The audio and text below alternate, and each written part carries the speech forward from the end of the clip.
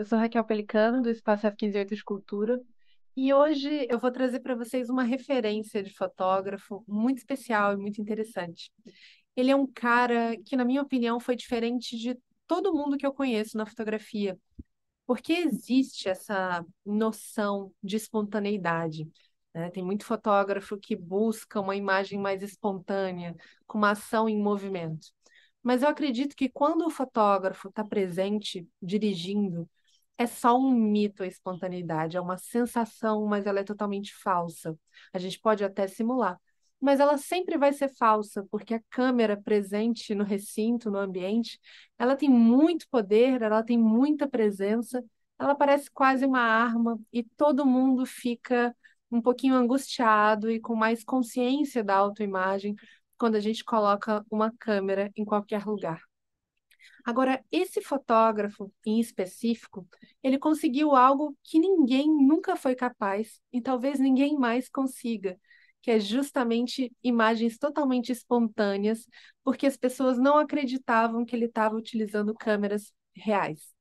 O nome dele é Miroslav Tic, ele é um fotógrafo tcheco, e entre as décadas de 1960 e 1980, ele fez milhares de fotografias com câmeras feitas com sucata, que ele mesmo criava e desenvolvia em casa.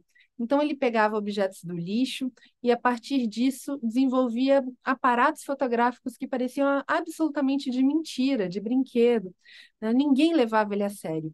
Tem também um detalhe da aparência dele. Ele era, ele tinha uma certa revolta que fazia ele andar totalmente descuidado, com a barba por fazer, parecia realmente um ermitão.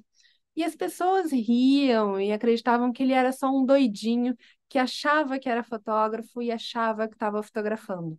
Mas a verdade é que ele fotografava de fato. As imagens elas aconteciam e assim ele conseguia uma espontaneidade completamente diferente, completamente inesperada, das pessoas rindo dele, posando de brincadeira, que não acreditavam que aquelas fotografias seriam reais.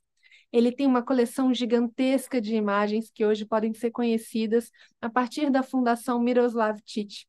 Ele já não é mais vivo, mas vale olhar esse trabalho com muito carinho, com um olhar que entende que essa visão voyeur dele trouxe algo completamente único para esse universo fotográfico. Espero que vocês gostem de mais essa referência e vamos, aos poucos, conhecendo novos fotógrafos. Não é fantástico o trabalho dele? Se você gostou desse conteúdo, gostou de conhecer mais essa referência, curte aqui esse vídeo, assina o nosso canal, compartilha, que todas essas coisas fazem muita diferença para gente. Um abraço e até a próxima. Tchau, tchau.